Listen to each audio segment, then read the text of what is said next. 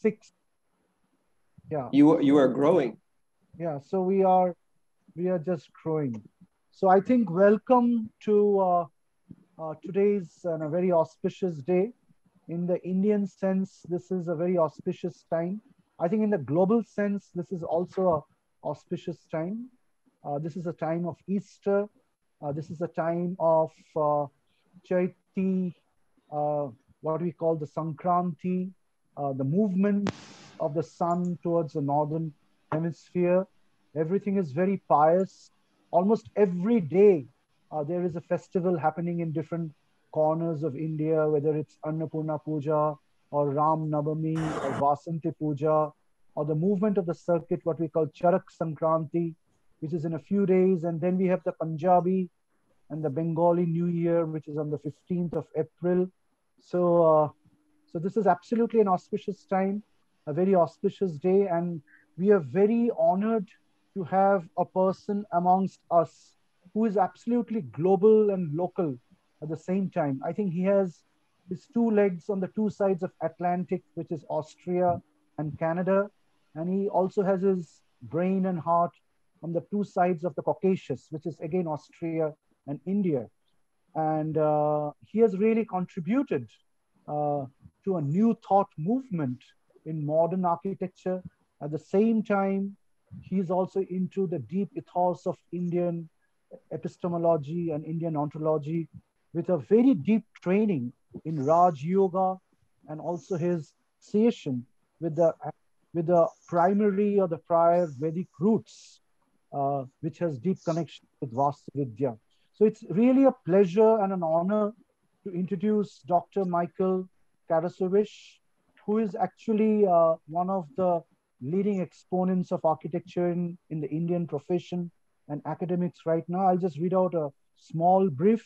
After graduating with a diploma in architectural technology from the British Columbia Institute of Technology, which is BCIT in Vancouver, uh, uh, he had been working on many projects and he took up his professional education at the University of Oregon. And then finally, he came close to one of the institutes where uh, different people in this forum, like Sunny Bansal, Vidu Bansal, and I personally have been involved with uh, through a project, Varanasi, which is Columbia University's GSAPP, Graduate School of Architecture, uh, Planning, and other, other areas. He has worked in Vancouver for a long time. Los Angeles has been the other city in Vienna, in Hamburg, and also in Venice. He worked in the architectural community of Vienna for some time, including Hans Hollein, Coop Himmelblau, Rudiger Lehner, and many others. These are just to name a few. And finally returning to Manhattan, to New York City, to work with Ralph Appelbaum Associates designing museums, you know, which is a very, very interesting area. Uh, Professor Karassowitsch is licensed to practice architecture in New York State as well as in India. So he's a very special person. And he's a member of the AIA, which is the American Institute of Architects, the Royal Architectural Institute of Canada, which is RAIC, a very prestigious organization called ISOCARP, which is the International Society of City and Regional Planners, of which I'm also a member. And so I feel honored to be with Michael on that forum. I've been to several ISOCARP and the platforms and, uh, you know, and listening to people like Charles Landry and others. And uh, finally, Ma Michael is also associated with the Architectural Culture and Spirituality Forum. And this is very interesting and very important. So Michael has focused on research for about 15 years or even more, completing his doctorate, The Goal in Architecture, The Goal in Architecture, which is a very important topic, researched at the Academy of Fine Arts in Vienna on the basis of the work previously, which began at the SMSF facility at Bangalore. Since completing his doctorate, he has been teaching in India and continuing his research on new grounds for meaning and for importance of being an architect to evolve beyond today's form of professional practice through the unity of architecture and the very larger context of humanity, which is spirituality, just not as a philosophy, but as a practice, as a living philosophy, as a, as a way we bridge, as a way we talk, as a way we design, and as a way we deal with the clients at the larger humanity. And as I told you right at the outset, he has focused extensively, which is his inner passion, on Raja Yoga, uh, the systems of yoga, which was introduced by Swami Vivekananda in the West, particularly in France in 1806. And he also works with its antecedent Vedic roots, along with the long lasting tradition of Indian architectural sciences, which we call the Sthapatya Vastu Vidya. So we're very honored once again to say that we have Professor Michael Karassowitsch, uh, our dear Michael, amongst us to share some of his uh, deep thoughts and pointers and guidances which we may follow at our new Center of Excellence of in Indian Knowledge Systems at IIT Kharagpur. So it's over to Michael, and we are looking forward to a very exciting deliberation. So this will be something like an hour, and then we can, then we can have uh, maybe uh, a few rounds of questions and answers after that. Thank you so much. Over thank you. Thank you very much for that uh, wonderful introduction. Uh, that was one of the nicest I've heard. So thank you very much for that. Uh, I'm very happy to be here. It's uh, thank you very much for inviting me. And uh, uh, you know, I think that the institution that you're building there is uh, I'm just amazed that I came to it. You know, how out of all the, the huge haystack that we have, there it is, the needle. Of course, it's becoming bigger. You know, it's not just a needle, but um, I'm really glad to be part of this. And, uh, you know, that building in the picture behind me is so significant. Um, and it's just a kind of an amazing poetic thing that this, your effort is, is centered on this, uh, in this building, in that architecture, symbolically, it's amazing. So I thank you very much. Thank you very much. Um, this talk is, uh, I've decided to take a little bit of a uh, risk. I'm, I'm pushing on the, my own envelope in doing this, uh, trying to put things together in a way that I haven't had the opportunity to do. Um, a lot of it, it's entirely based in the Indian knowledge systems and Indian architectural knowledge system. I'm going to avoid saying IKS and IAKS. I'm going to say the full words, you know, I prefer, I, but I might slip once in a while. So I'm trying to put it together um, and in a way that's consistent with my research and with the next steps that are coming up. But the real key, as the title says, is that I want to um, talk about what in in the Indian knowledge systems um, will be able to um, illuminate what we have to do as a next step in architecture.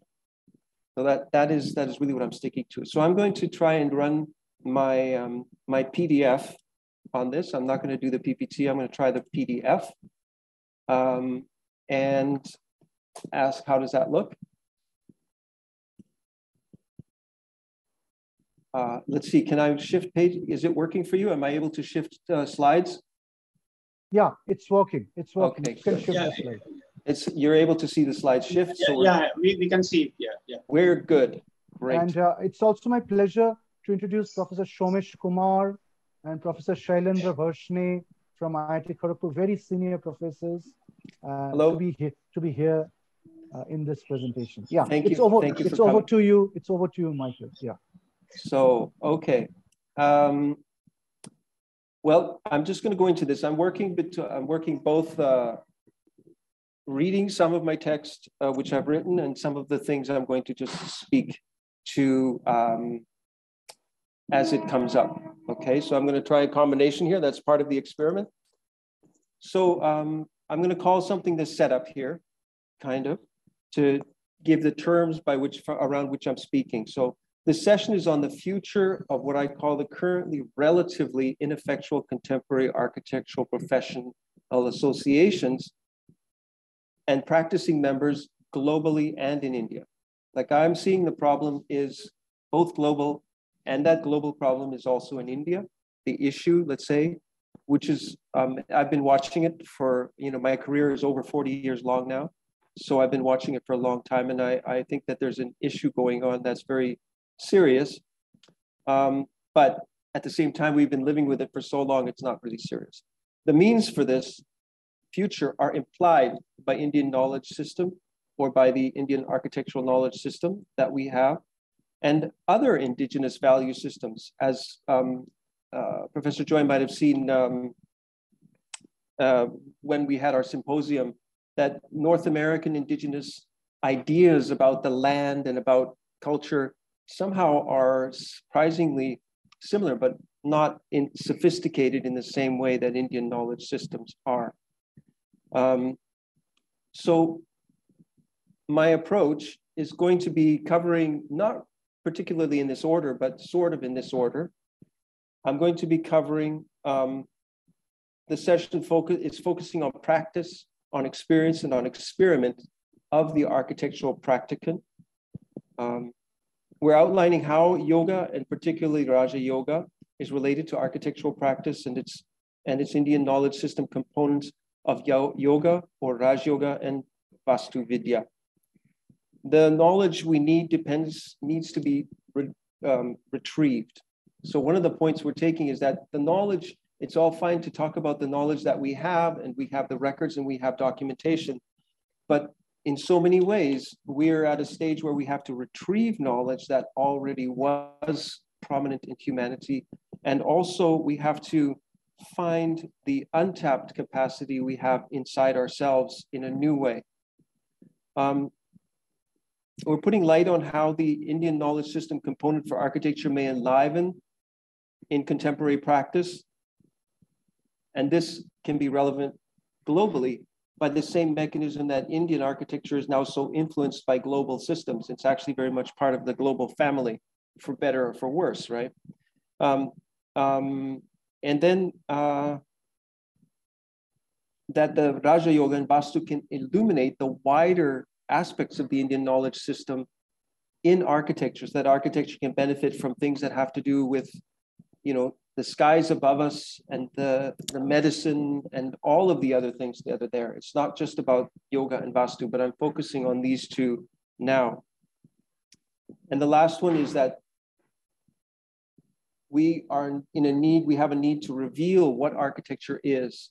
And even that question of revealing what architecture is um, needs very careful terms, very special presentation, because it's something that people you know, because of the path we've gone down, it's very hard to see um, a certain concealment that has been going on for a very long time. So uh, that that's kind of what I'm working with. So we're starting now. This this is the first part of our of this talk is is about kind of like the the context continuing. So practice beyond our histories, and that our history, our, our histories now talk about performance, methodology, and historically prescriptive forms. The objective fact-based histories have their use, but they do not tell us how to achieve a goal. To represent importance and qualities does not get us those values, meaning that we can talk about what happened, we can describe things, but we still haven't achieved. We only know sort of in this superficial way, which relates to um, also in Indian knowledge systems, there's a difference between knowledge which is learned in one way and knowledge which has actually become integral to our being. So we're talking about practice. In architecture, we have no lack of histories. They're based in many ideolo ideologies through the 18th century onward. We're mainly focusing on those ones. And these are mostly Western histories or Western orientated histories or histories done in a Western historiological way. Um, characters from massive quasi-philosophical works, which are still being propagated very much in the architecture schools and in architecture in Europe. And then we have more contemporary works, which are uh, not really manifestos, but they're these two both have a quality of manifesto and, and they're very usable, very workable. We also have the work of Charles Jencks in defining postmodernism and then we have the work of the famous the famous people, Mies van der Rohe's life work, El Lissitzky Moholy-Nagy, which is sanctioned through the Bauhaus, Frank Lloyd Wright by Taliesin. And I put in Peter Eisenman because It's his hubris, his love of being there, and his love of talking about his work, which really put him put his work in the front, for better or for worse. I mean, a lot of us don't even know what he did and what he pioneered. Um, but all of these people have been what architecture is about. Um, we also have sort of neo or post-theoretical manifestos, such as, as such as um, uh, Koolhaas or OMA is doing. All of these things are providing us information about architecture, but there's some parts of what architecture is about which are not being questioned. In India, we have the greats of the first generation post-independence, uh, Kanvinde, Raje, Correa, and so many more who have kind of brought India forward. Um, and their work is represented in much the same way. You know, we look at their their their record, we look at their buildings. Um, it's by example, but really going into what architecture is um, is somehow delineated by the profession without question. So practice itself is not really addressed by any of these, which is you might think that's crazy. Why am I saying that? These people are practicing but you'll see. These are either the individual, okay. Um, so the question is through this, through this, how do we access what practice is if this is not actually accessing what practice is? So the history of Indian architecture is slightly different than Western history. It is not a history, but the documents themselves. I'm posing it that way. This is my polemic. It, we have got documents about architecture which are stronger because they exist. There is no such body of work elsewhere as the Shastra about architect, about, about architecture, the, the, the Shilpa Shastra. It is, there is nothing else in the world. The only one that comes close is uh, Vitruvius's work. So P.K. Acharya liked to write that he found amazing parallelity between the architecture of Manasara and the Architectura Libri Decem by Vitruvius. He was P.K. Acharya was well-meaning, noting the material expression of orders, the scale and proportion were expressed in strikingly similar ways.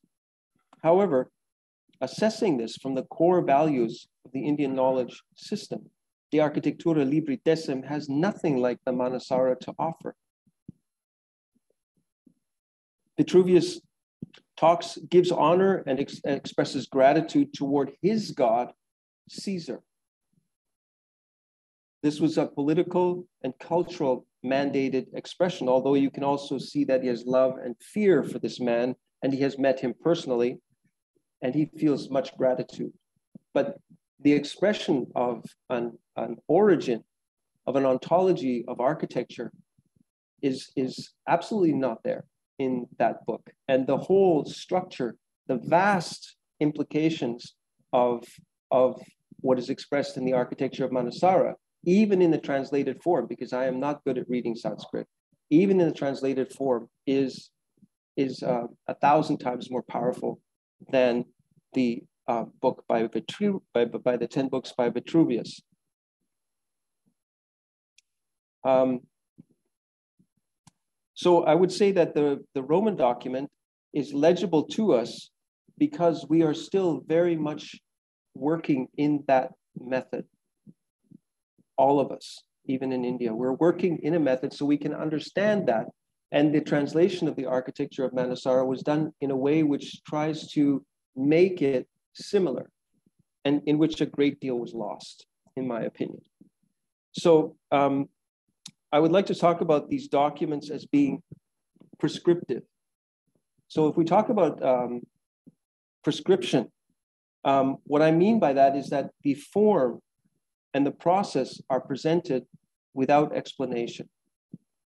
In the one hand, it's for us to, de to, to develop that expression and um, to uh, discover what is meant by all these details. But when you come upon a document which is too old and has too many differences to the similar culture, the work becomes a really incredible forensic exercise that is incredibly difficult to actuate. At the same time, the Manasara, for me, has an incredible amount of information in it that can be brought forward. But I could do it as a scholar and do it for myself and learn things. But my interest is in learning to really tie it to the needs of architecture today, to tie it to the way that um, we're running into trouble as architects within a professional structure. So I'm connecting something which has got a very um, subtle and well-evolved long-term quality with something which seems really mundane is the legal requirements of the profession as it is. But that, that is what I would like to do. So talking a little bit about permanent pra current practice, in light of the problems of practice or any evolutionary process uh, forces resulting in change in the current profession, there is little movement. The business facet of what architects do, combined with the technical production for which we claim our compensation, have become the measure of architectural services. It is locked into the legal and self-regulatory structures of the profession. These having become more or less definitive as services provided, conceal the preparations for the experience of architecture in environments. Postmodernist architects and the work uh, that they do is often a sly, cynical, or clever reversal of giving measure for an architecture of architecture's rigorous concealing and the tropes that maintain that, the professional tropes. So sly would be Hadid and Libeskind. Uh, cynical would be Oma and, and, uh, and uh, Rem Koolhaas, or clever is Eisenman and Herzog de Meuron. They're all kind of doing this kind of presentation of architecture as it's concealing as architecture, which seems really weird, but we'll get there. Um, in a strange way, the apparent superficiality of much of deconstructivist and early classicist postmodernist work, meaning what we normally call postmodern, which is uh, the, the work that has classical elements, was as clear a presentation of the issue that we have had that we have had since, due to the hubris of rising Western neoliberal culture and the sudden wealth and fame presented to some of these architects this development could not be maintained in a serious matter, and we dropped back to a generation of woke but relatively centri uh, centrist modernist work. Um, I've been, I'm going to go to the AIA conference in Chicago, and I was struck by uh, using, to use this as an example, that in this conference, there is no real discussion about architecture. And this is not uncommon also when I look at the various conferences available in India, that all of the seminars are essentially about technical modes or ways to run your business. Technical modes and ways to run your business. That's basically the whole that people can talk about. And I'm going to be very interested to go there and see if there's any discussion about the, the actual lifeblood of architects. Um,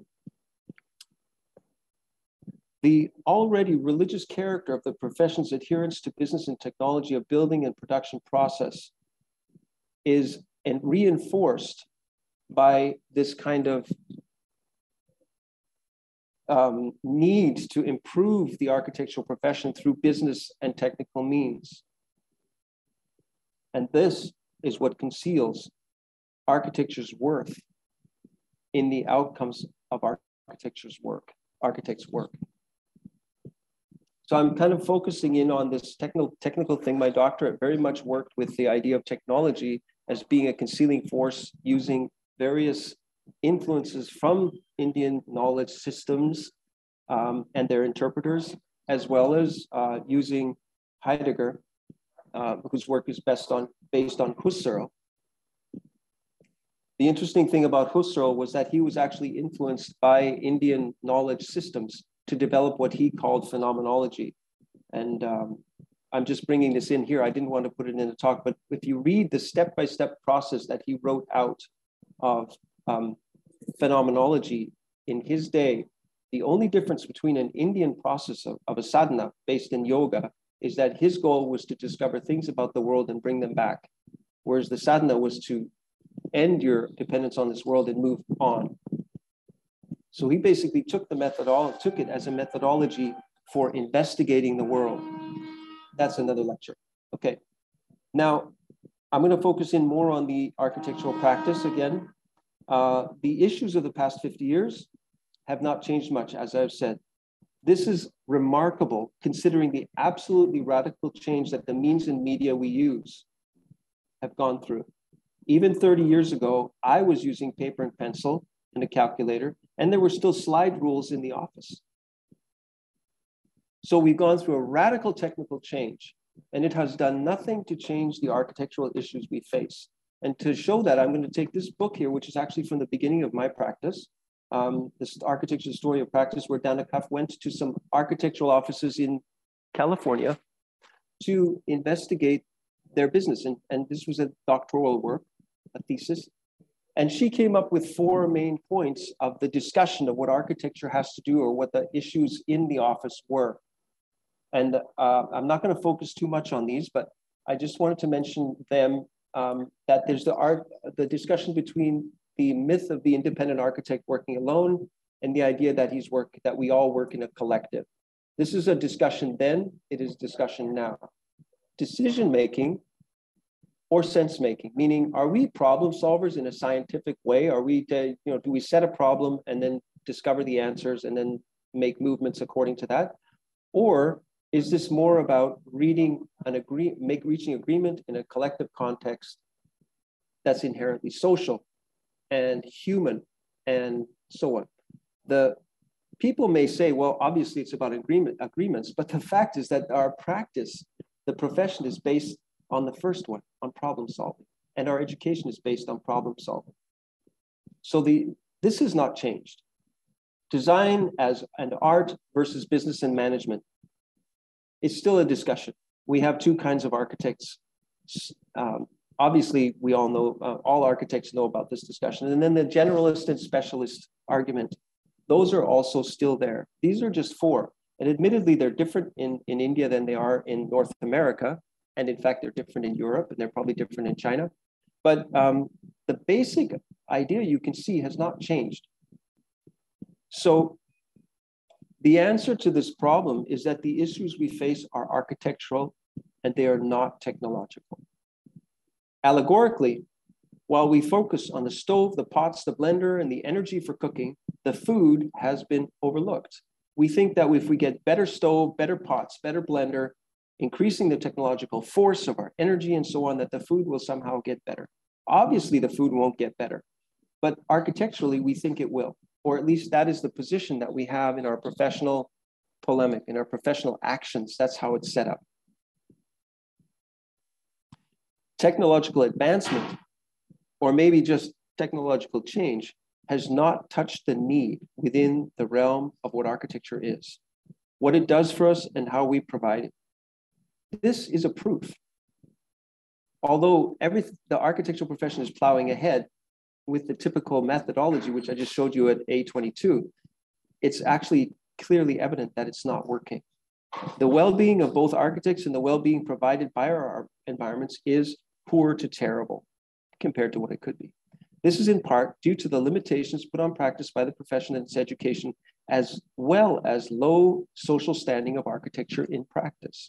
Given the amount of reserves, resources spent on building, the resources given toward architectural environments shows values heavily prejudiced against us. Architects are not stepping up to anything near to architects' importance.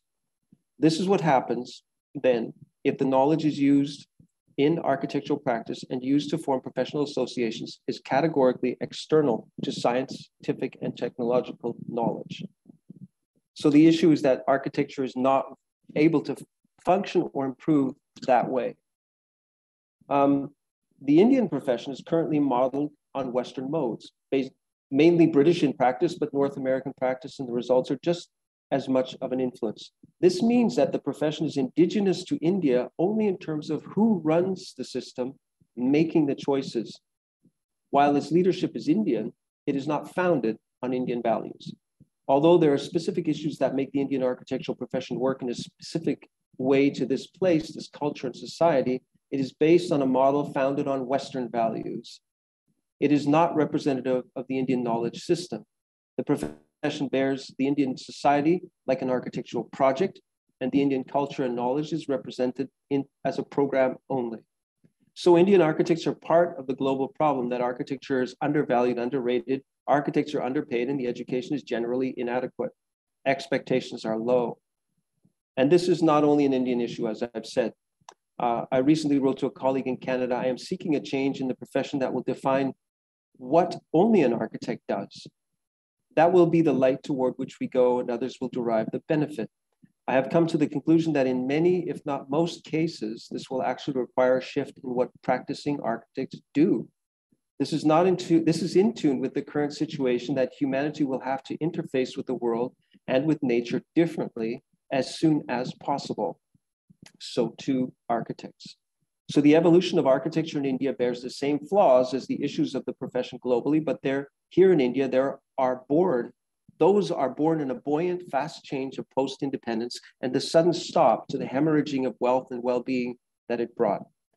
Indian knowledge systems can be supported through our common technical scientific habits only in part, but the ground of Indian knowledge systems and Indian architectural knowledge systems cannot be supported this way. Architecture itself is not bounded by technology or science, nor are Indian knowledge systems, at least not how the word science is commonly taken today. So how do we remember the ground of Indian knowledge systems? What is the actual idea that, that is at the heart of it all. The yoga within. That's what I would propose. The yoga within is the heart of Indian knowledge systems. So now I'm coming to the main content of this talk. That was that was all my preface or context setting, and uh, hopefully I wasn't too too much of a browbeat. But uh, I'm trying to kind of locate us in a position where it's pretty undeniable that we can do more with architecture than we're doing. Okay, so um, I want to speak about um, architecture by putting it in context with consciousness. So uh, I would say the first siblings or even twins born of human consciousness are, are dwelling within and dwelling without. What I mean by that is that when I become a conscious person, I say to myself, oh, you know, I have feelings, I am seeing something. Before, I just, you know, if a if a if a, a, tiger came to attack me and eat me, I might have felt I felt wonder. I felt part of the world. I felt existence. But now I feel fear. I ask myself, what could I have done? I feel that my life might be ended too soon and I had other things to do. And all of these other levels come in, which create the inner idea. And then at a more subtle level, there's the question of what am I or what am I not? This is the inner work. But at this very same moment, the idea comes how could I have made my, my living place better so that the tiger doesn't catch me? Where would I live to be most um, suitable for my well being, for my family? Sorry. What makes me most comfortable? How can I be more comfortable? What is comfort? These things come at the same time.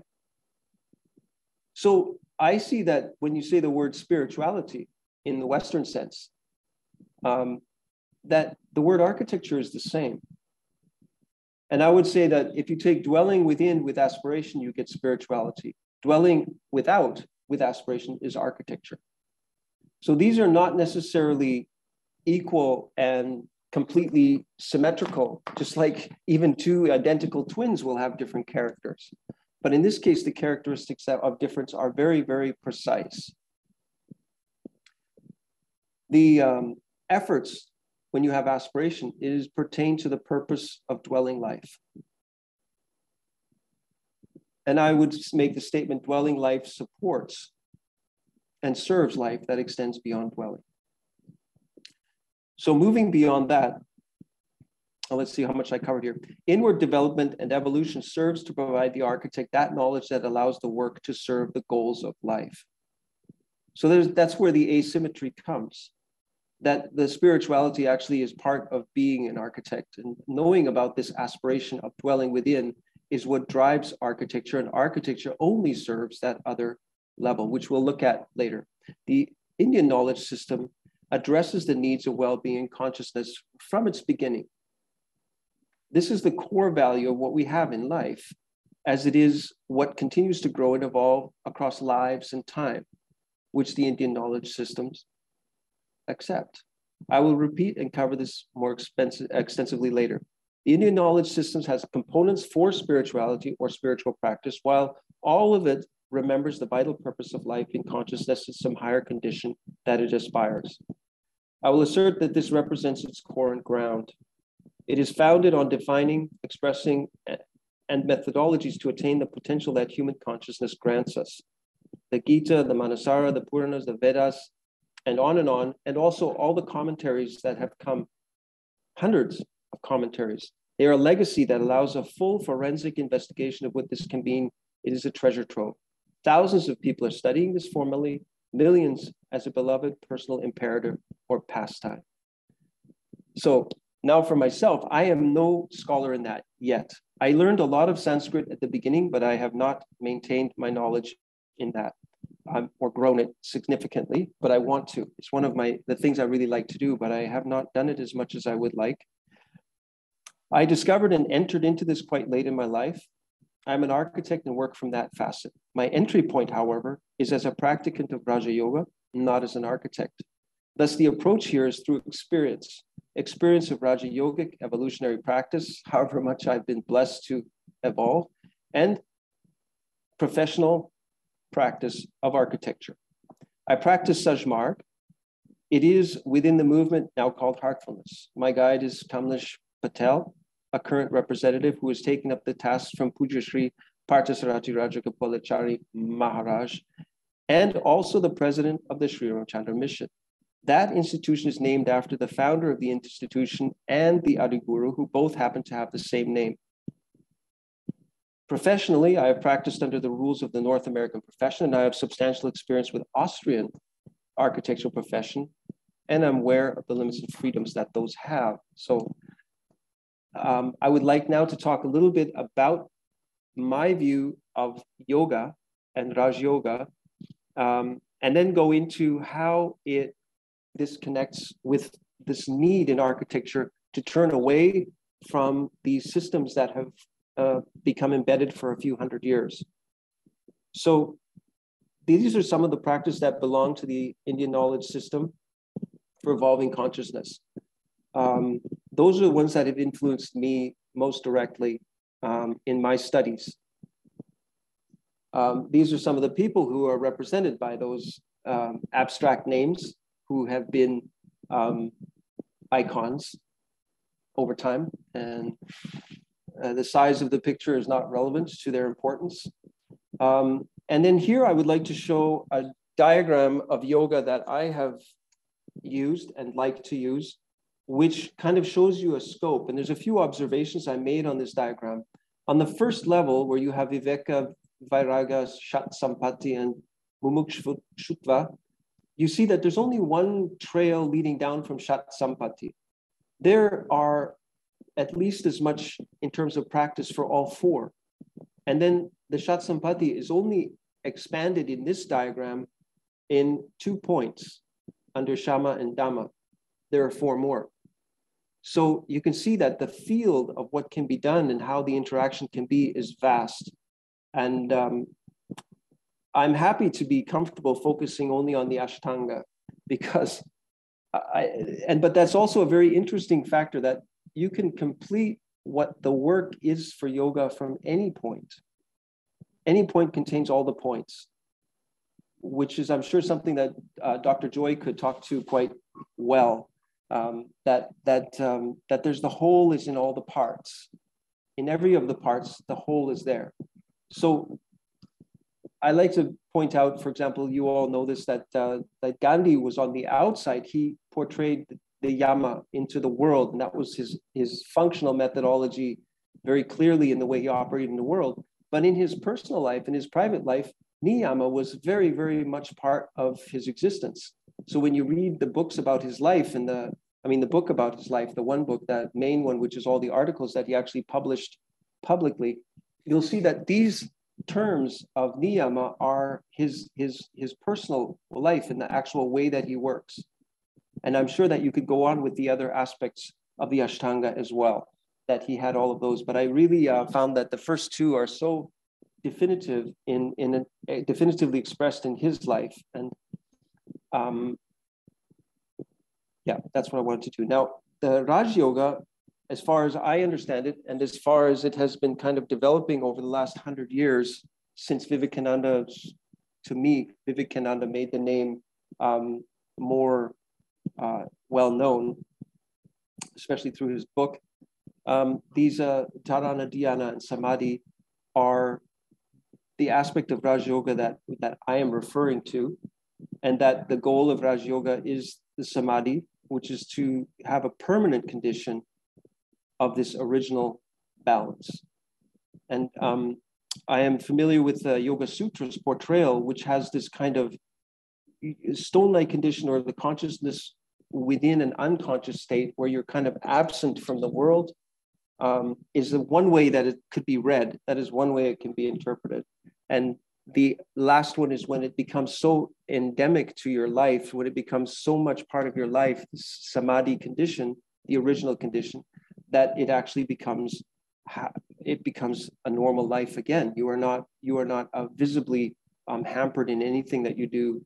You continue in your life no matter what your elevation is. And so I I, I would suppose that Vivekananda is a good example of that, fully functioning, but fully in samadhi at all times. So going further into it, I'm just going to focus on these first four uh, sutras um, I'm using two translation, Deshpande and Vivekananda, because it's always good to triangulate between the two. Um, and now the discipline of yoga. Yoga is the state of being in which the ideational choice-making movement of the mind slows down and comes to a stop. Then the seer gets established in its existential identity. In all other states of being, identification and the ideational choice-making movement reigns supreme. Triangulating, now concentration is explained. Yoga is restraining, restraining the mind stuff, chitta, from taking various forms, vrittis. At that time, the time of concentration, the seer rests in his own unmodified state. At other times, other than the unmodified state, the seer is identified with the modifications. This is something that I, I found those words of modified and unmodified, a reversal that the common condition of humanity right now is a modified condition, and it has been for thousands of years. And what we're looking for is an unmodified condition, an unmodified state. And it's not a pre conscious state, it's a further state, it's a future state. And perhaps at some point, all of humanity will have this unmodified state. That is the goal. We've been listening to these lessons for 2,000 years now, almost and we're and these lessons are not new 2000 years ago. They were there before then. They could be 10,000 years old. So this is one thing that i would like to take forward and i'll, I'll be uh, reading some text on that. The other one which is interesting and important here is just from sloka 2 is the um, this is the sloka it's just the one one word as you would say uh, as a non-sanskrit expert that the chitta is the scene and the experience, the things that we have in our history that which is instantly there, everything we experience is instantly the past, and that we choose what we think is important. And the third aspect of that experience in the choosing becomes what we think, what we feel, and ultimately what we are. And the yoga is the idea of stopping that. Yoga is the idea of ending that you can have stopping or you can have restraining as a word. But actually, it actually says both. The, the translation of the word, at least taken from Deshpande, is both to slow down and to stop, slowing down and stopping. But um, as we'll see later, um, uh, Krishnamurti takes a slightly more absolutist view of this. So the Yoga Sutra makes clear a clear statement of purpose. The first sutra is the first chapter states that yoga is a cessation of ordinary functioning of the mind. Ordinary being what everybody has these days, I suppose. Although you could say the unmodified mind is ordinary. And what we're doing now is non ordinary. So you can think about it both ways. The Yoga, Sutra of Patanjali is a primary antecedent of Raja Yoga and the, its instructions on dealing with thought and the mind. Thought is orientated in the Yoga Sutra to the practical work of getting to a more valuable personal condition as it is in the practice of Raja Yoga. The Yoga Sutra expresses control of modification of mind, which is terminology that Yoga, Yogananda, uh, Vivekananda used. to provide thought as means that are eventually left behind for their evolved form. The Yoga Sutra passes no judgment of any choice one might make and does not moralize. The implications of something better coming if such control of thought is applied. At the beginning, we don't know what that better thing is. The Yoga Sutra is a description of a set of facts that may be verified individually by testing them, but it is not a practice. The thought of the modified mind or content formed awareness has held sway for a very long period of time. As I was just saying, it's been 10,000 years. It may be since the advent of our current form of consciousness that this problem has been there. The vast multiplication of individual human intents and the production of its objects make the necessity for control of the modified mind's applications as unavoidable as thought and its modifying effect is in the first place. But this is also quite easy to ignore within the vast creation of thought content, its formation of character and awareness. The need to handle the complexity of thought itself is manifested in the same granted capacity of consciousness to conceive of betterment as originally allowed by the creative impulses of consciousness that all of us use from the beginning. The issues that modifications of mind bring about include the need for solution and resolution that may take the form of ambition and includes the intentional environments we fabricate, meaning the built world. We struggle for discipline with modified mind that utilizes these great powers of thought that may develop into disease. This is based on that original opportunity that we have. Raja Yoga applies a practice for attaining the opportunity for evolutionary transformation through unmodifying mind.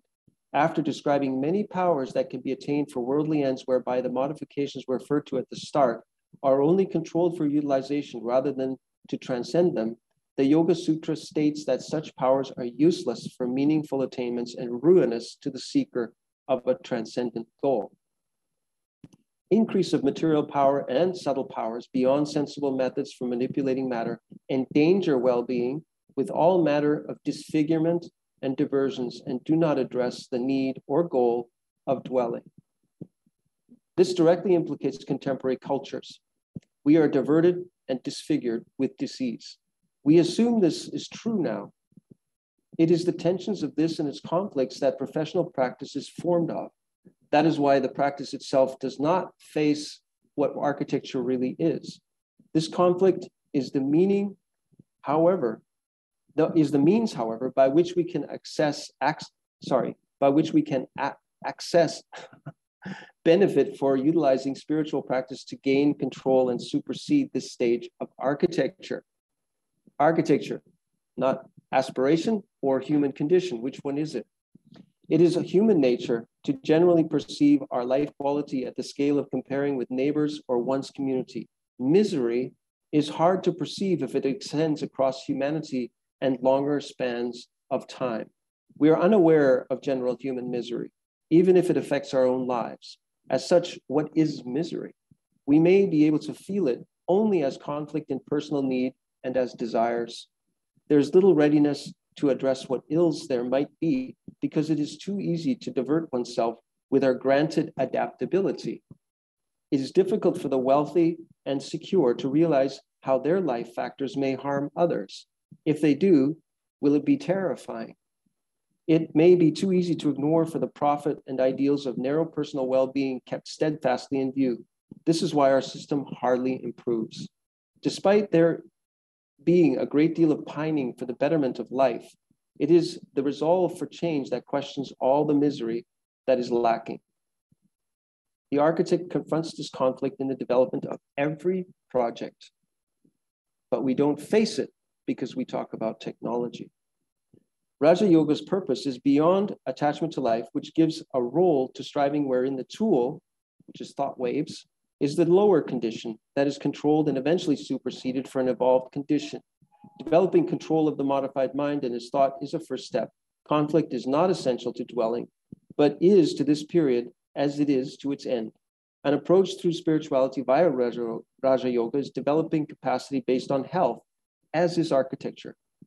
Architecture joins with spirituality in this way. The other approach, which is a, this discussion between Krishnamurti and Bohm, which is actually the a very small book of three of their discussions, which is ex excluded from the ending of time, was what where my doctorate actually began. I found this strange little book in, in Bangalore in a bookstore.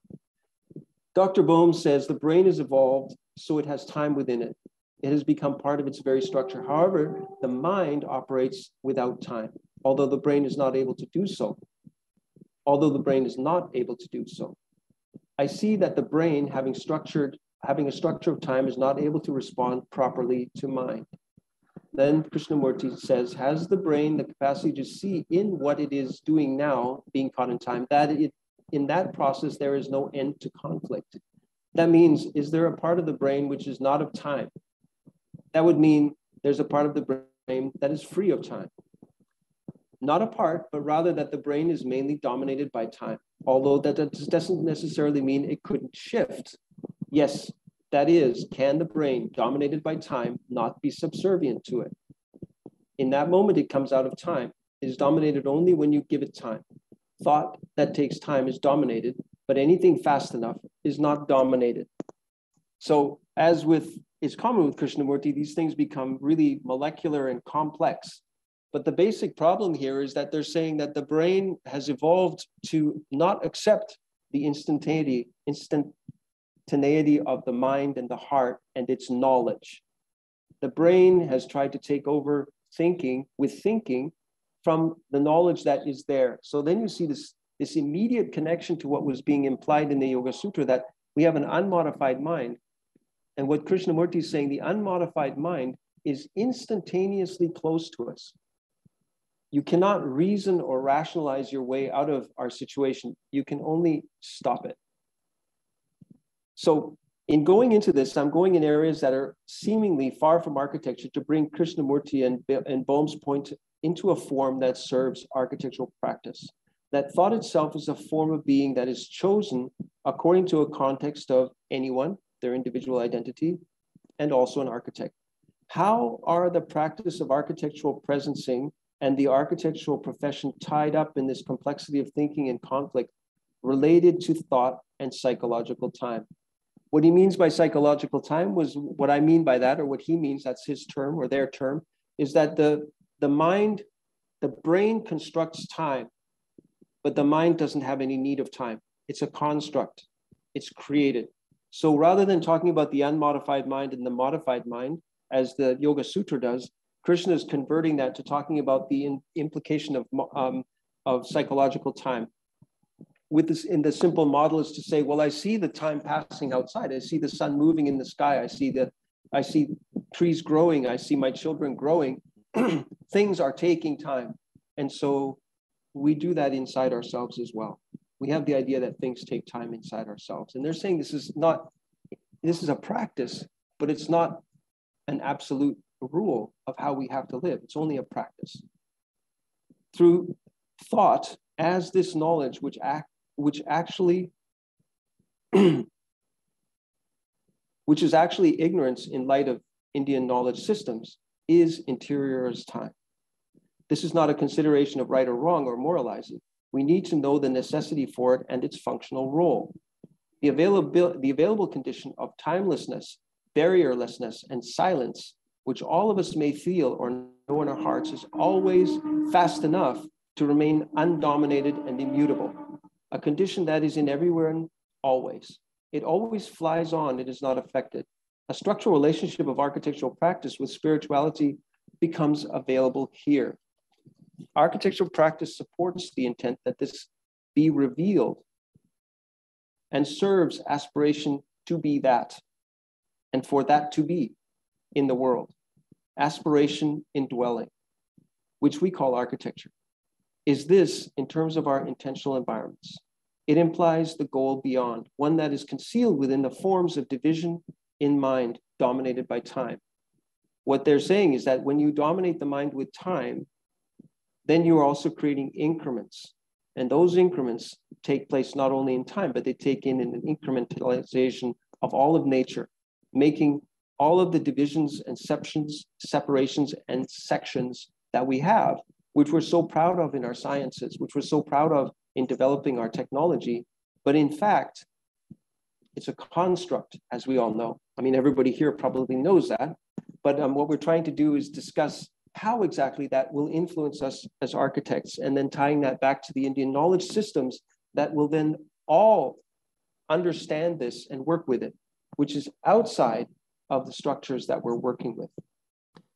This implies a goal beyond, one that is concealed within the forms of division mind dominated by time. When something is built, be it a basic shelter or an urban complex or any intended environment in the world, with purpose of some sort, we are active mentally within nature and within the universe. The ending of time is in this way also a revelation of architecture when architecture's means are conflict as a factor of interiorized time.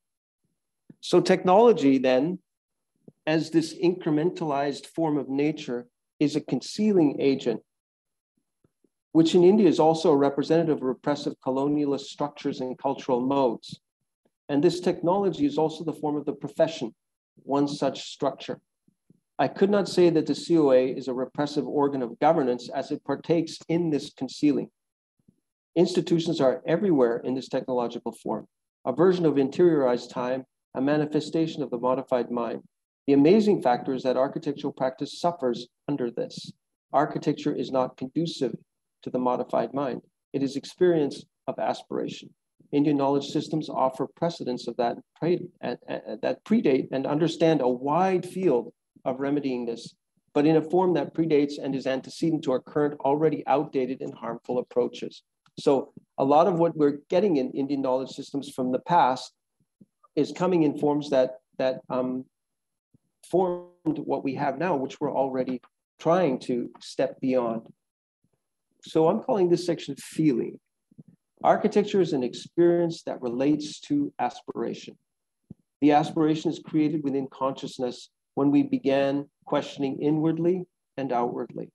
The siblings of architecture and spirit, spirituality are both aspiration. We have material intentions, goals, and needs, and we have the inner goals. We mix them up so that an outer goal is intended to satisfy my inward sense of well being, my ego, my ideas about success.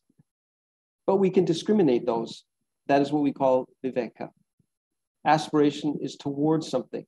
That is something that we can choose, but aspiration is ultimately not about choosing. We are all free to choose our goals.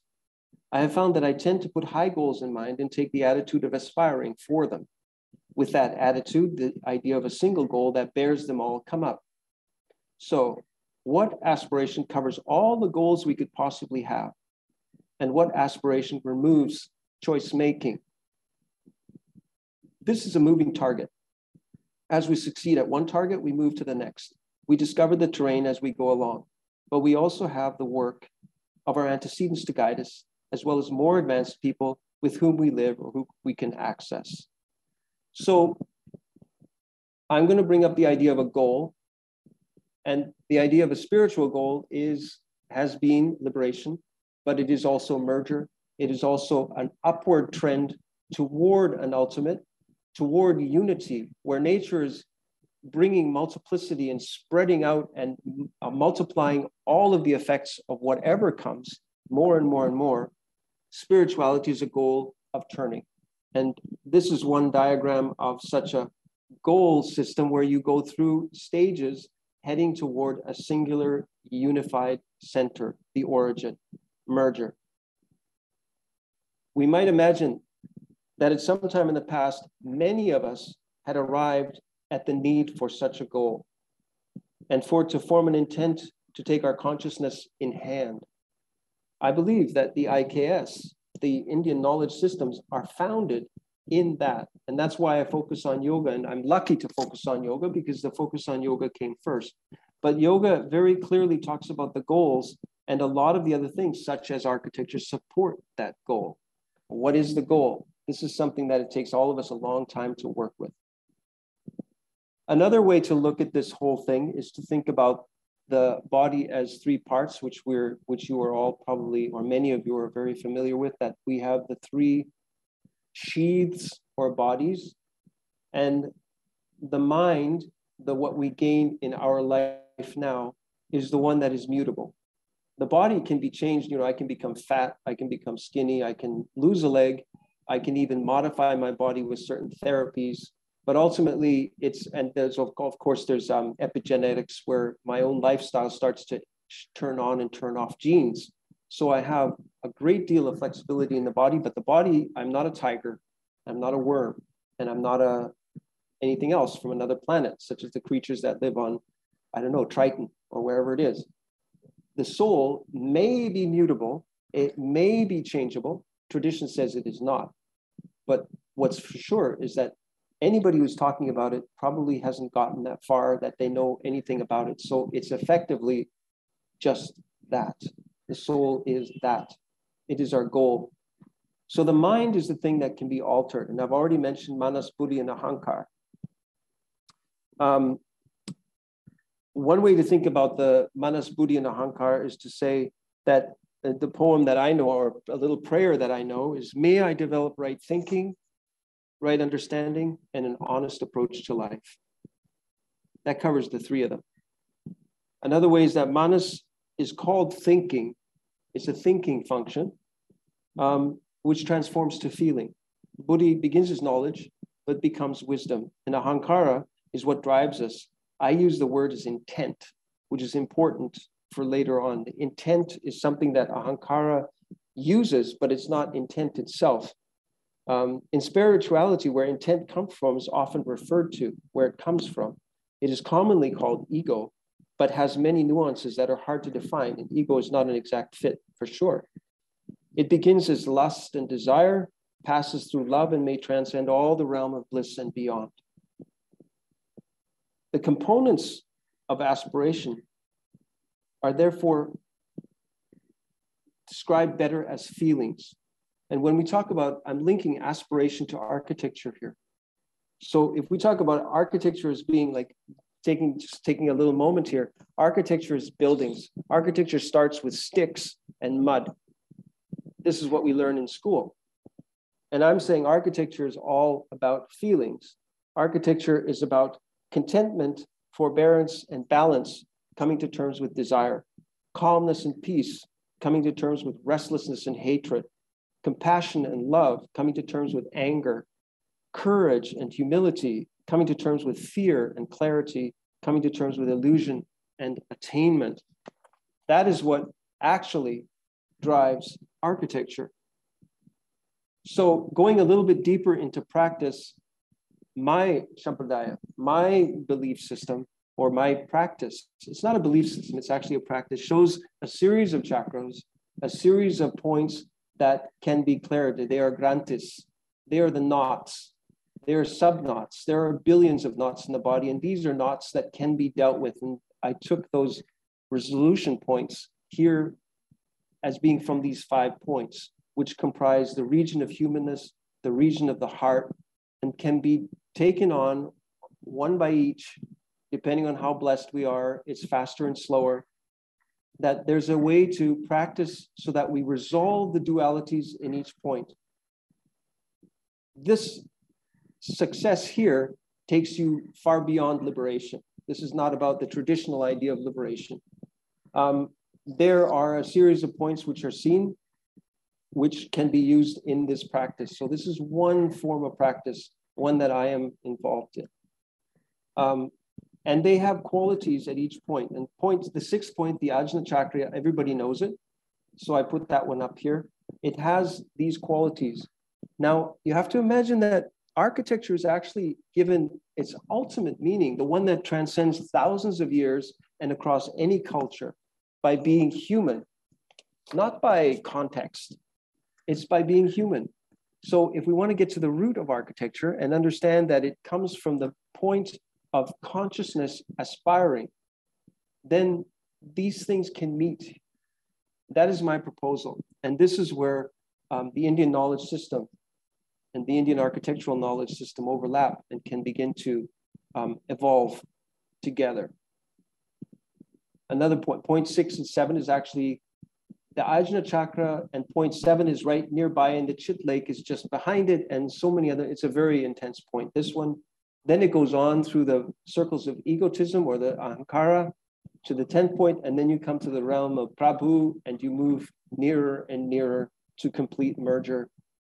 with God, or whatever you want to call it. We can also look at structures for aspiration, the inspiration for intent. We can look at those. I want to stress here that these are intended, all of this stuff that I just talked about is intended as a means to comprehend, uh, to, to comprehend for the purposes of communication. So maybe that's my Western mind thinking. You know, I was very impressed with uh, um, Dr. Sambit. That's how I was talking about Sampradaya, that you can have absolutely opposing of schools, even in one person, and go forward with a sense of hope and aspiration, even as they seem to be conflicting. So I'm trying to present this as a way to communicate, and it may conflict with some people's ideas. And I know people take their spirituality and their approaches very, very seriously. But um, I'm presenting this as a way to understand all of that um, for the purposes of communicating and for the purposes of moving together in unity as architects who understand that mud and sticks is not architecture, it's human experience. Human experience, if you take the simple triangle of bhakti, karma, and jnana, then you have human experience where it starts at the bottom plane of the triangle, which is not necessarily an uh, equilateral triangle, where we normally live. And in that zone, you have freedom of choice. And I've taken the line of duty and aspiration, freedom of choice. Let's look at it this way. If you have freedom of choice, you don't have anything until you choose something because freedom of choice doesn't give you anything except when you choose something. When you choose something, you don't have choice anymore, then you have a duty. So there's a that bottom line has a vertical element, which is very, um, in a certain sense, absolute. And it leads to the idea of aspiration once you've chosen something and when you decide to go for whatever you need to go for. And that leads to love, devotion, and eventually unity and merger. And it's an infinite path. So, structuring it a little bit differently, or taking this structure a little bit differently, if we take that line of taking an intention forward and say it's a positive evolutionary growth, then I would call the one side is the private, is the public sphere and private space, public and private space, the place you live, place you personally exist, and the other aspect is the public sphere. Um, this is a, a small, uh, I'm going to just make it small here. It's its own subject. But if you know about the public sphere and the way Jürgen Habermas developed it as being some sort of a social uh, development of, of, the, um, of the individual, I'll show you that later. But the point here is that this, this diagram actually is, leads to Nishkam Karma, where you're transitioning from the choices you have and reveling in all the choices to realizing not only duty, but actually that you have to, that there is choicelessness, that choicelessness begins to arise um, as you move toward your goal. Choicelessness happens and it has related to dwelling's purpose. And if it's not related to dwelling's purpose, well, you fall down again and you have to start again. Public sphere, I've got a whole branch of study that has to do with the public sphere. Um, I've only written two articles, and the articles I've written I've sent to architects and not to social scientists and such. So the response has not been very impressive.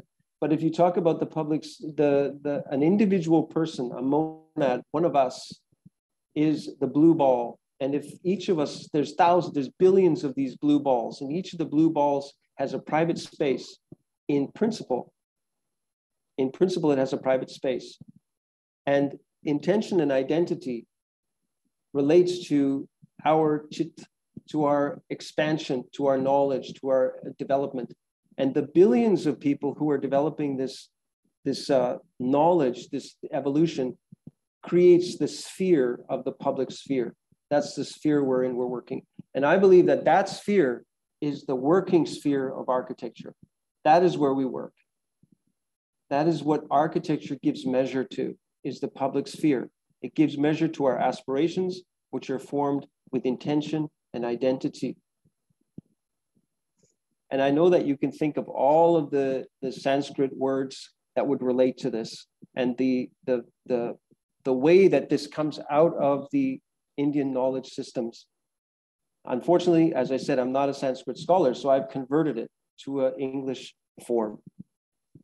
So now I'd like to move to architecture. Given all of this now, I would like to move to architecture and my go-to document, which is the Manasara, and discuss four things that are really important that cannot be replaced anywhere else. They're not anywhere else.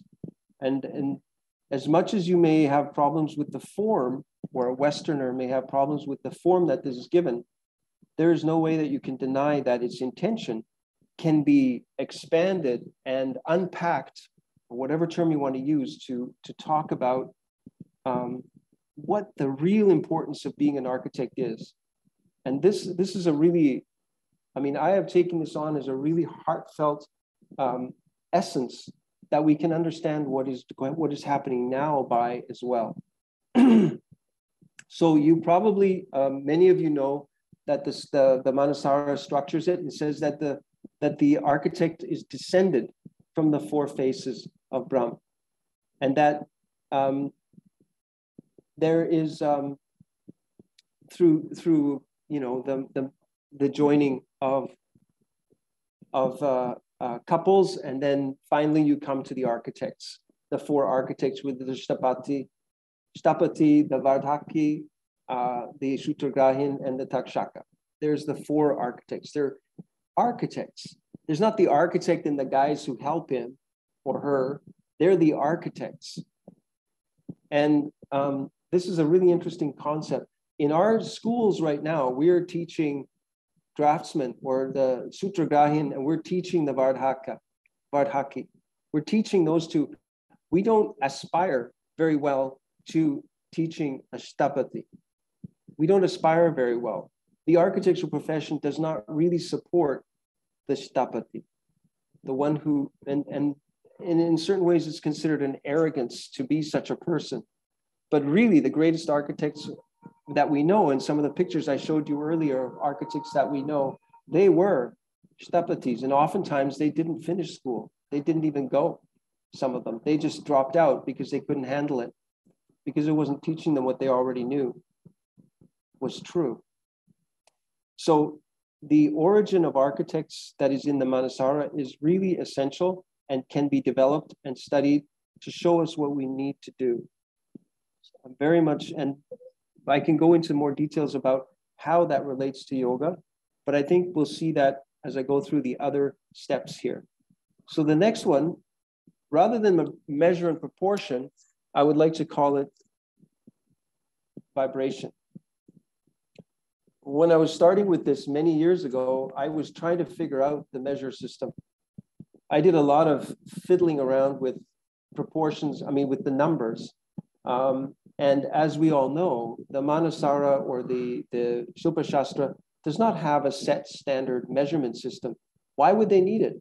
They had no factories. Every house, every building was done here and now by these people. So the develop, so the measurement system was based on proportion and progression, and it wasn't based on a fixed number um, it's very hard to understand how to use those numbers for somebody before all of a sudden your mind kind of goes into the space and says, wait, it's not about a fixed dimension. So the tall circle is the proportion system that they use. And the right-hand oval is the kishku, which is also called the cubit, which is also called the yard, or also called the meter it relates to all of those dimensions. Although the, the difference in sizes are very different, um, the idea of it being the forearm is common across many cultures. So here it's quite small, the way I've given it numbers, but uh, the numbers aren't really as important as its location in the world. So this is what you get from the system in the book when you look at these pages that, that you can look at. I mean, the pages, are, and then I found this diagram of the, of the um, opacity of the atmosphere. Now here I'm gonna take a real leap. You're gonna, you may, some of you will like this. What I did is I overlaid the rough dimensions of these, uh, these measurements in the Manasara. And then with, with the atmospheric opacity and the vibration, the electromagnetic vibrations that pass through the atmosphere. You can see on the left the rainbow. You can see there that almost all of visible light passes through. So we have evolved as human beings to see that. That's our visible light. We can see that. Now, there are other wavelengths that pass all the way through the atmosphere as well, which, and the terrestrial radio is absolutely transparent, right? The atmosphere is transparent to terrestrial radio.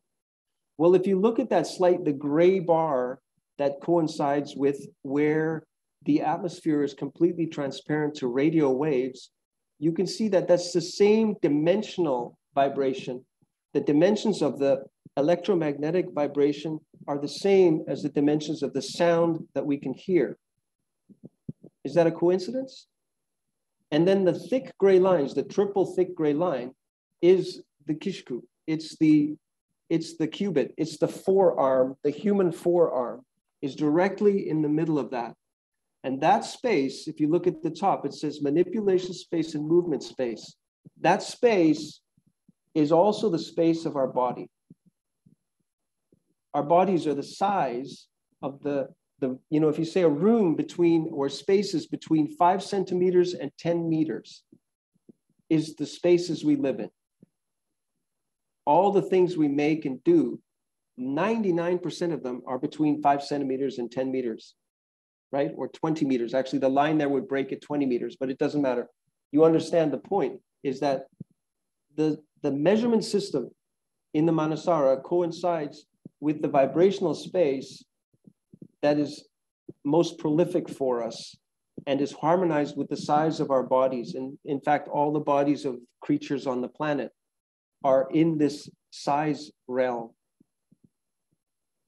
Now, I don't really know all the significances there, but that overlap for me is profound. And that that the uh, vibration system, you know, the Paramanu is the only one which is completely out of this, you know, in this very small zone. It marks the end of the zone that we can actually deal with, although it was perceived by a seer. Obviously, it's smaller than anybody could ever see. But all of this, you know, creates a harmony, which I think is when we talk about in Western architecture, we talk about aesthetics, we talk about proportion and harmony, and we go back to columns and and you know all of these kind of things. For me, it seems like it's time to think about the actual vibration in a space like the medicine, like the chemistry. When we take medicine, it creates a chemistry in our body. It creates an electromagnetic transformation. The chemistry is electromagnetic. It creates electromagnetic changes in our body chemistry. So similarly, architecture to be most functional would have to deal with this level. And it seems to me that this is about that and it has not been investigated very much. But this is something that's really profound, and I think that there, there are other levels of this. Another one, um, rather than talking about site preparation, I call it asking for permission. The whole text that you have in the Manasara, which talks about the preparation of a site, is, an, is, is about permission. It is about, we could say it's about preparation. We could say it's about in part, it's about understanding the quality of the ground for for for um, for structural purposes. Um, but the, the quality of the ground for structural purposes is actually being understood for the vibration that the ground creates and structural support of the ground and that is solidity is in a certain sense a secondary aspect especially when your buildings are very light and made of wood and such things it, it wouldn't be a critical aspect. You know, we know now that we can build structures in mud and they will stay stable. We have the technology to do so. So ultimately, the architecture was there before, the technology comes, the technology goes, the architecture is there afterward. That architecture is about something else. The very bottom, as you know, that in the Shilpa Shastra, the ground is an architecture. The ground is known as an architecture. And here it says the ground is known as the foundation of all kinds of buildings. Well, I think I would translate that differently. I'm sure it doesn't say all kinds. I think that you could find a better way to translate that. So the interesting thing here is permission. Our, when we come to a site now, we don't ask for permission. We, we don't have any idea about how to get permission to build on a piece of land. In fact, we don't validate that at all. Some of us still do, I mean, in India, everybody does puja at the beginning of a building project. But do they really understand that it's asking for permission or is it just wishing for good luck, right? It's a question of intent here and that the structure that we could develop in architecture of understanding how to get permission because you know as people we have permission from day one that's not the problem it's not permission like can i do this or can't i do this it's more about respect and harmonizing and integration with the knowledge that the human beings have such power and can ruin everything if they do it wrong. So this is very important. And now the last one, instead of the Purusha Mandala, I would call it nature's functionaries. Here we have a reference to all of the energies, all of the previous people who have gone up and have become functionaries of nature. They're still related to humanity. And you know, this thing, I, I just wanted to put it here because it's very important, but I, I don't want to dwell on it for too long because um, I think we're very familiar with that and its importance. Um, and if we combine that with the characteristics and knowing more about the energies and how those energies like Varuna and Ganya and Yama and Agni, how they relate to what we know now about the world, to reintegrate it is something that I'm really interested in. Uh, I don't know if I'm going to have a long enough life to do it, but it's really interesting to me. So now I'm going to go to a section where I'm going to actually talk a little bit more. I hope I'm not taking too much time. I don't have enough. Where am I at? I'm almost at four. Oh my gosh, you guys. I've been going too long, haven't I? it's okay. Maybe around four we can. Yeah. Oh, okay. So, um, my gosh, that was a fast hour and a half. I hope I haven't been too redundant. Um, no, absolutely not. I think that uh, I will, okay, I'm going to try and go through this fast. Can I have 10 more minutes? Yeah, sure. 10 more yeah. minutes. 10 okay. So I was just going to talk about actual practice right now, which has been, or recent practice, which relates to some of these points. So this is a drawing from Coop Himmelblau. They call it a psychogram. Their way of building was to do this drawing and then never question the sketch and to build it. The idea here was to create an absolute barrier to technology, that technology becomes entirely in service of the idea. And they were doing it as an architecture about that, that saying, look at us. We are not going to question our intuition. We are not going to question our inner idea about this building. And we're going to make it happen no matter what it looks like. That is what they made their career from and they build billions of dollars worth of construction. The other one I'd like to talk to is a famous old guy named Frank Gehry. Same thing, sketch, right? Then he has his office and he makes this paper and tape and glue construction and they play around with it. Then he feels that he's accomplished his goal. This is literally what happened. The film is filmed, and I've, I've you know, this is a film by uh, uh, Pollack. So he says, yeah, yeah, yeah, he's so happy. Then they take the model and put it into the computer so they can build it. The filter from the intuitive creation of what needs to be done is one way. There's no feedback from technology. The technology serves the architecture in these two offices and there's other offices which I could analyze, but it's more complex. These two are clear as day. And so what these guys can do is they can come up with technology that does what it has to to express the feeling. That is really profound for me. That is Viveka. They have discovered the difference between what serves and what is service. They have discovered the difference between their inner need and what has to be done. Kenneth Frampton wrote, cultivate a resistance to identity given culture with discrete this recourse to universal technique. Now I'm talking about this whole idea of the Indian architectural scene. This is called critical regionalism. Universal technique means Western technique. Resistance by adhering to Western technique. So you get somebody who's Ganapati Sthapati who shows you an example of a building, which is profound in its expression of Indian forms on basically a Western box. giving culture resistant identity based on recourse to Western and modern technique. The other way is you get a drawing like this by, which was promoted by, uh, you know, P.K. Acharya, where it's a building where you say, what in the world is that building? How does that work? I call that resilient. Identity giving culture extending outward and rooted in local culture and its antecedents. So I'm going to skip discussing uh, um, Correa's project and go straight to this diagram, which is the ultimate idea of integrating the Indian knowledge systems with architecture. How all of these parts can work together. And if you let me, I can read one page of conclusion and then I'm done, okay? Rather than the structure of buildings and things that hold up gravity and materials and matter, architecture is made of these things as we present it. This does no more or less than demote building to the support of and means of architecture. But such an action will nullify the terms of practice as for the professional acts.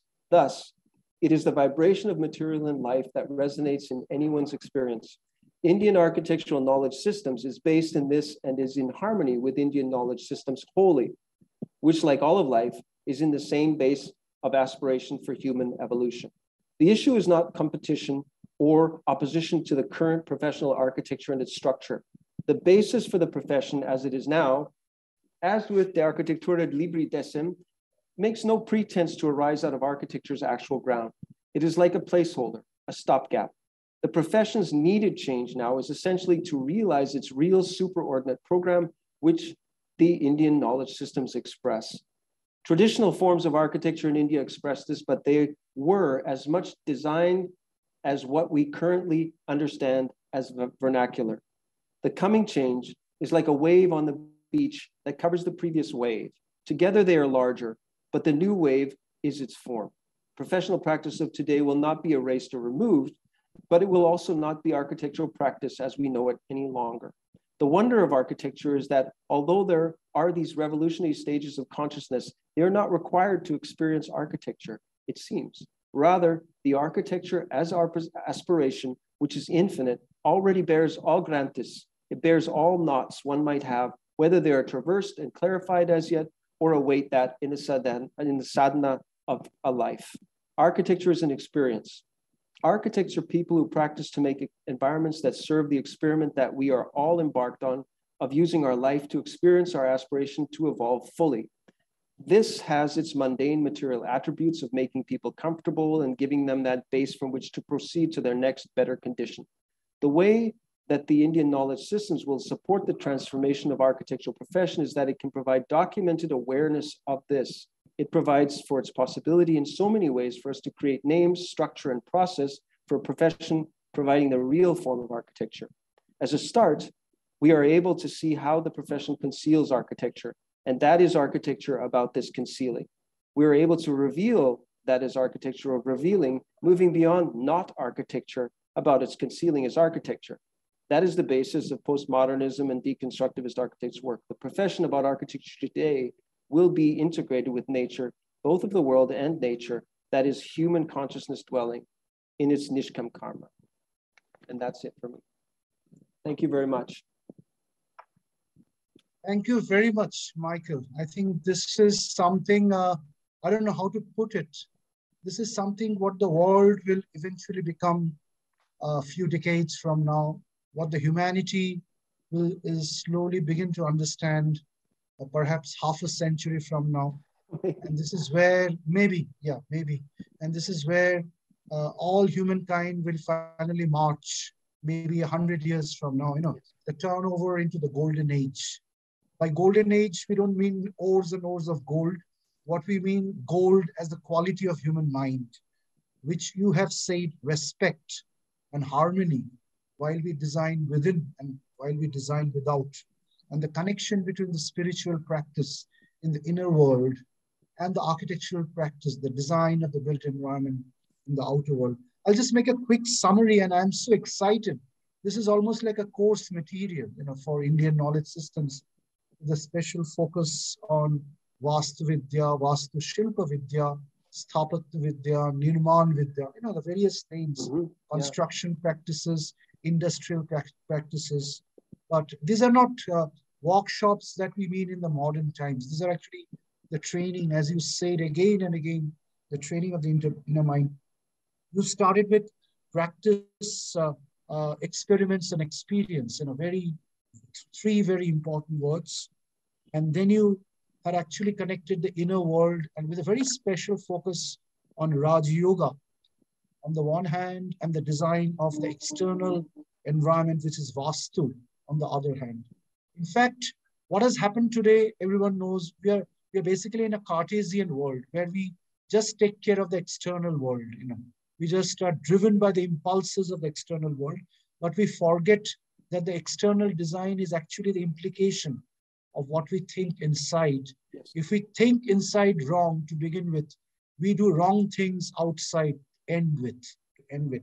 And this came out so well in your presentation. Uh, this is not one hour uh, stuff, uh, chitta stuff. I told I mentioned that I'm doing yeah, a little yeah, bit of an experiment to see if I can traverse yeah. that yeah, distance. This is like Sorry, a, I used like up too a, much no, no, time. it's absolutely beautiful.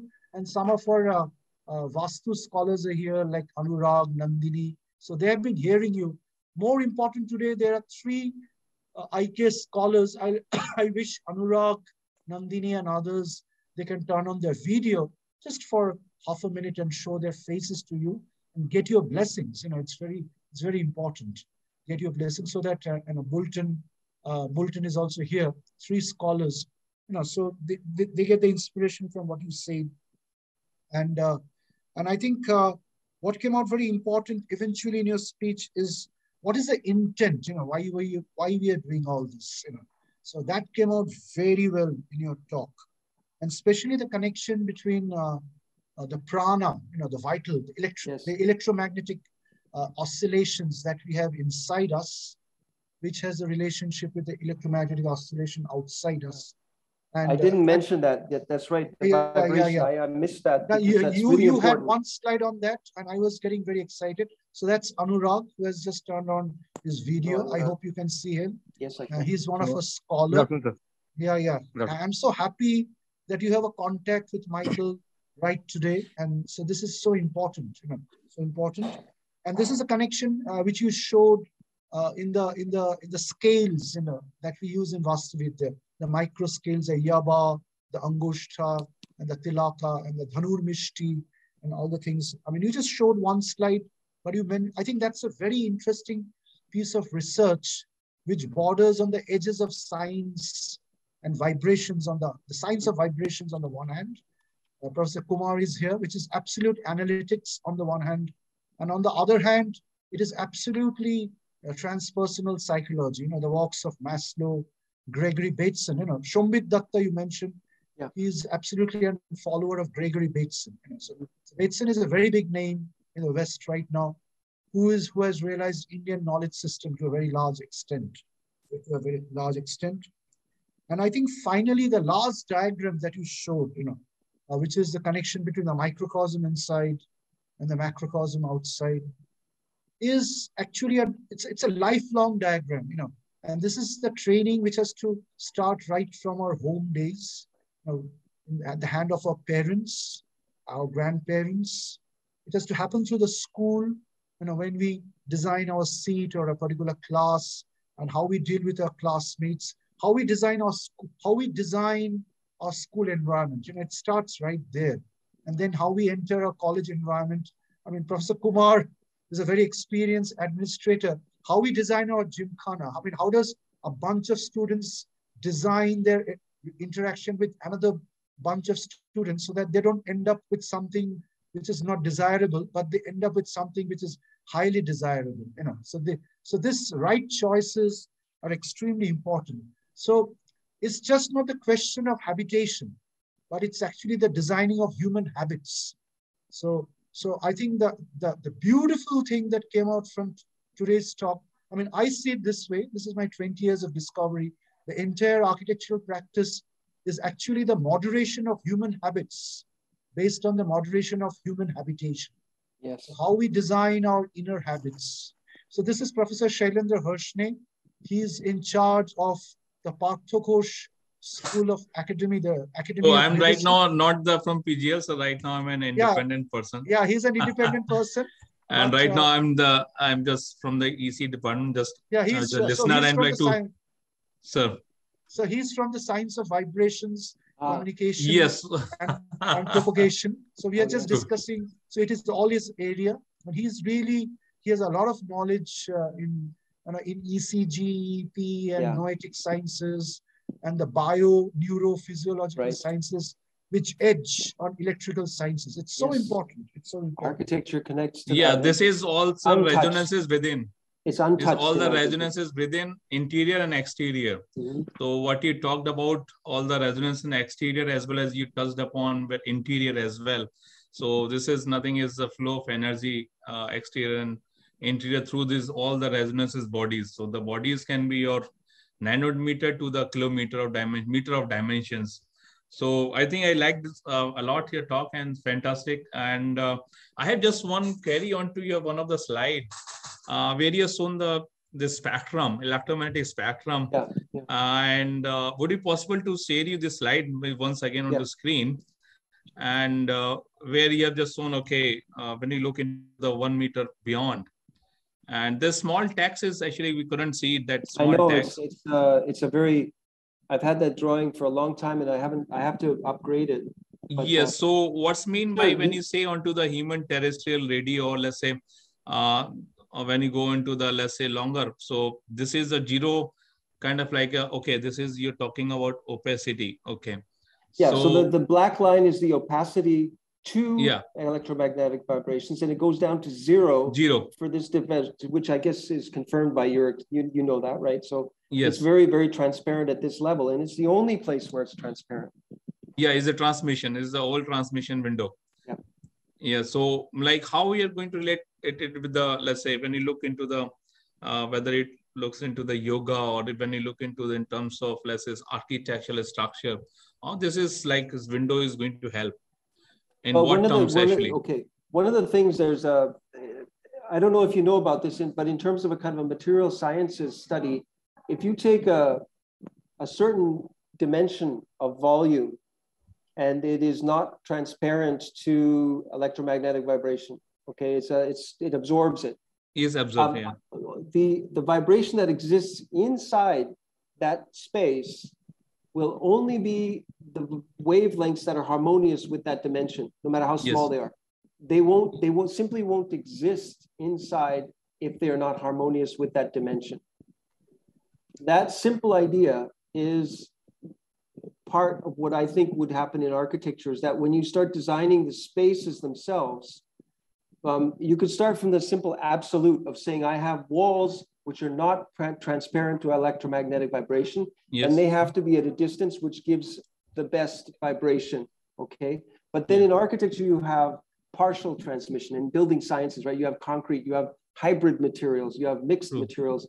So it becomes extraordinarily complex. The, ma- the matrix of possibilities is insane, right? You can't even think it. It's such so complex. yes Um, so what we what we need to do in architecture is at least to start to understand that the space and the dimension and the pacing of our objects in architecture are not merely um, visual. That there's actually a palpable effect on our physical bodies and the resonances that happen. This is inside the Indian architectural knowledge systems. They knew Okay. something of it, but they're being 100% prescriptive and non-transparent about where this knowledge came from because it probably just came from experience over thousands of years. Yes So now in science, we have the ability to study these things much faster.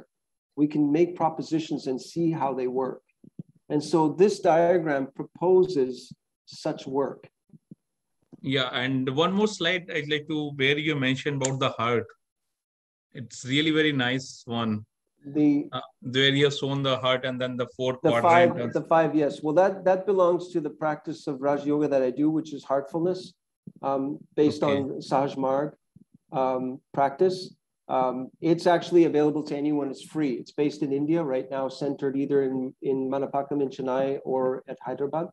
And um, yeah, this practice he- starts starts. so here you mean like kind of like uh, all these points like uh, this is like the balance between these points uh, how do we understand from here okay, point what one the message when- that we'll take every- it, take it from here sir well, all I'm showing, okay, what I'm showing is that the, the human evolution in spiritual practice is um, essentially one of what we call feelings.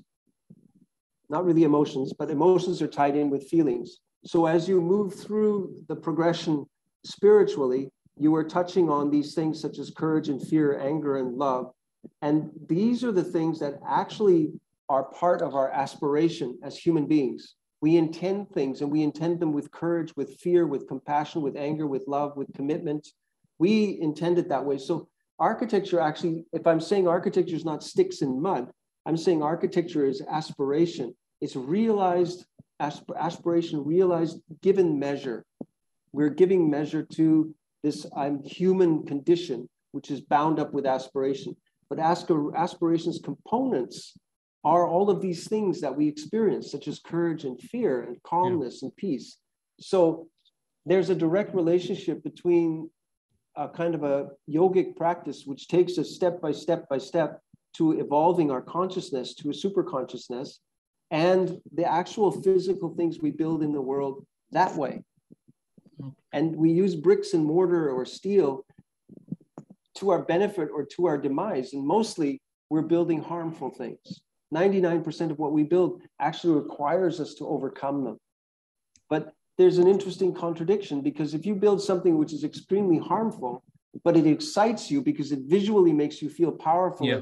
visually, then you overcome them. You, you know, it's not a simple one plus one's, uh, you know, relationship. It be, consciousness is so powerful that we can overcome things. So we become confused when we talk about this.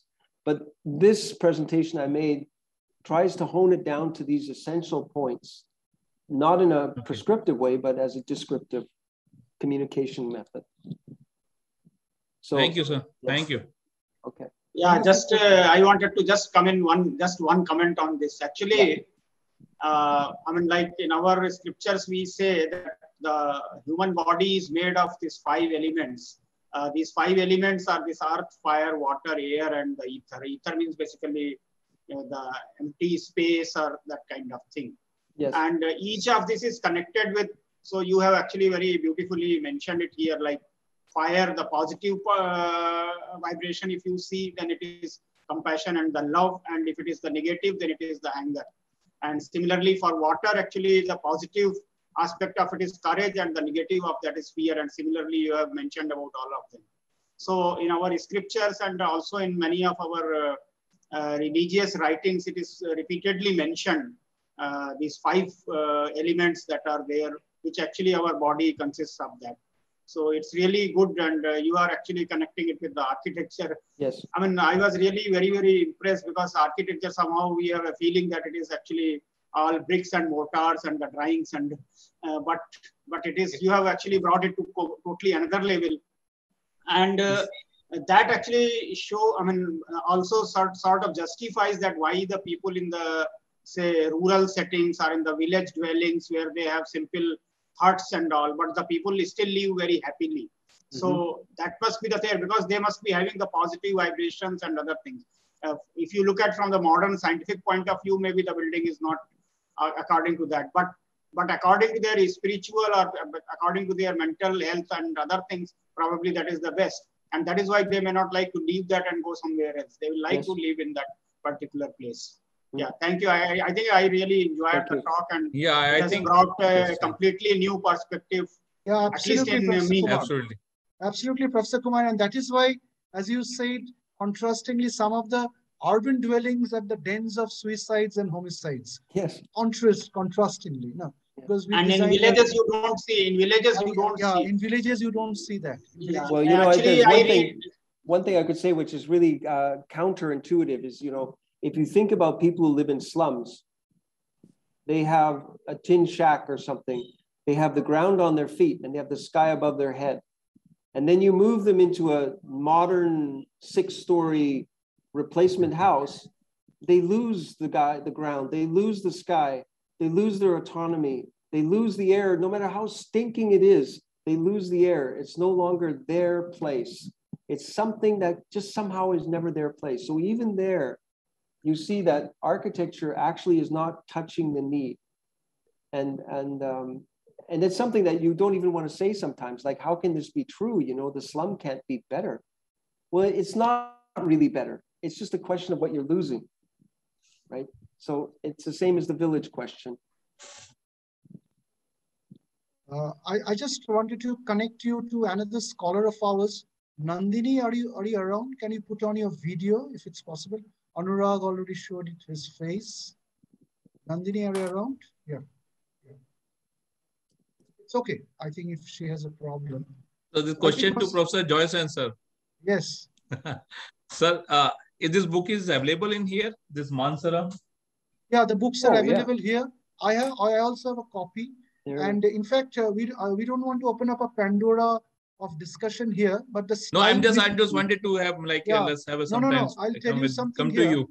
Yeah, sir. I'll tell you something here because we may not get this opportunity once more because Professor Michael is here, Professor Kumar is here, you are here, uh, electrocommunication expert. Actually, there is a whole area which is yet unexplored. What Professor Kumar said, the five elements composing the five yeah. levels of human consciousness, the five chakras, and what Professor Michael had explained from the other angle and, and had come close to it, are actually the compositional response to stimuli, uh, vibrational, you know, the vibrational modes inside our body. Yes. And yes. they and they are believed to be, believed to be, it's a belief, they are believed to be the foundational vibration of our vowels and consonants. And that is the foundation of our Sanskrit. Mm. That is the beginning of a Sanskrit. So the evolution of Sanskrit over history becomes a, a unscientific question. When, when every human being is born, any human being, whether you're a Hindu or a Christian or, a, or anybody, he's born with this garland of letters, you know, the vowels and the consonants, which are vibrations that interlink. Is all, yeah. They, they interlink the inner world and the outer world. So True. there hmm. is actually a book by John Woodroffe, who was a British lawyer. And in, after he came to India, he became a sadhu. And he actually exposed that science. His guru was Shibchanda Vidyarnava, who was a classmate of Ishwarchand Vidyasagar, you know, the very, the very, very famous Vidyasagar that we know from Midnapur. So this is an area uh, I don't know because I was seeing this discussion going on. You asked this question, Michael responded wonderfully, and then Professor Kumar uh, immediately came back with that other observation. So I could not resist myself uh, from saying all this because we have just knocked the door. Yeah. The knocked the door. What exactly is Sanskrit? It's not a language. It is, it is actually a system of languages. When all these languages and vibration, they converge and become an ensemble, ensemble, they form a vibration system that we call Sanskrit. So our rishis had actually reached that level. The whole of Raj Yoga, uh, of which Michael is an initiate, is essentially this, where they discover, they uncoil, uncoil the latent power of the knowledge of the universe, which is already there inside you, which otherwise we see it outside. We think it's outside but it's actually inside you. Nandini so think, is there. Yeah, Panini is there. Bhartrihari is there. The whole of Bhartrihari and Panini is actually based on that. So all we have to do is make this connections. You know, Sanskrit is pursued as one body of knowledge. Electrical sciences is pursued as another body of knowledge. Our architecture is pursued as a third body of knowledge. Maybe one day uh, will come where these these things, maybe 10 years, 20 years later, when at least I am not there in IIT Kharagpur. Some some scholar, some scholar in IKS probably will do this. The human body is the best example yeah, the human body is actually a, the human body is actually a huge, huge mystery. Huge, huge mystery. Yeah. Uh, we have just tapped two or three percent of the human body so far. True, true. Yeah, Nandini has joined there. Nandini, yeah. Yep. Yeah, Nandini, hello. Yeah. So, Michael, this is another of our hello. scholar she's from the background and she was all there. So Nandini, you may say a few words. Hello, sir. Good afternoon. Good afternoon. Yeah, it was really nice listening to you. Thank you. Yeah. So she's working with us. So they, they are the they are the future. They're the first batch of mm. Indian knowledge system. Uh, so a lot of uh, lot of as, lot of aspiration, lot of good work, a uh, lot of good aspiration is actually in their hands. Anurag, Bulton, Bulton, is he still around? Or he was there almost. I think he just left, or maybe he's still there. I think he just left. He was all there, all through. Dipanjan is also there. Dipanjan, are you around? I think he has also left. Okay, he was there till about five minutes back. Yeah. So fine. So, so I think we have done. We had a very interesting. Uh, I think deliberation. Yeah, it's very good. Very, very interesting. Very, very rich. Very profound, and it connected so many relatively less connected dots of human knowledge systems. So that was the gift that we had from Michael Karassowitsch today. I think uh, the school, the Center of Excellence for Indian Knowledge System, IIT Kharagpur, will be actually, uh, yeah, be actually indebted to you. One day, a day will come when the fruits of your aspiration, Michael, will become a tree. Will yes. become a tree. Hopefully. And it will, it will give rise to more fruits and the future trees. Yeah, they'll all come down and make more seeds and it'll be a, yeah, yeah. there'll be a and whole then crowd. A garden, and then a garden, an aranyak, a brihad aranyak will be created. You know. Brihad aranyak, yeah. And the Upanishad will be rewritten. The brihad aranyak Upanishad will be again rewritten. Yeah. The forest, the forest of knowledge will be rewritten. That is beautiful. Thank you. So I think we had a very successful time. So because we are heading for the next module, which starts from five. It starts from five. Okay. Yeah, it starts from five, which is a talk by Professor Ganti Prasad Rao, one of our former professors. And he comes from the other side, from uh, systems knowledge, control systems with deep knowledge in mathematics and also electrical engineering. And uh, for a long time, he has been associated with uh, Indian knowledge system. And he is also the supervisor of some of my batchmates, you know, some of my batchmates. Oh. So he's a he's a pretty aged person. So till yeah, till now we are in 80 now, years, I think. He's 80 yeah, yeah, years exactly. Now. Till now we yeah, till now we are in the fatherly generation. Now we are going to step in the grandfatherly generation. Next session. Okay. Thank you. Good. Thank you so much, Michael. It was thank you. That was Thank a great you. opportunity. Thank you very much. Thank you. Thank you very much, sir. Thank you. Thank you. Thank you, Michael. Okay. So we'll rejoin at about five, 10 to 5 or something. Right? Yes, yes, yes. yes. Okay. Thank you so much, Vidu. Yeah, we'll rejoin. Yeah. Uh, we can keep this on because it's we don't have much time here. So and I can talk with Vidu for some other things we can discuss. So we'll rejoin about 10 to 5, 10 to 5.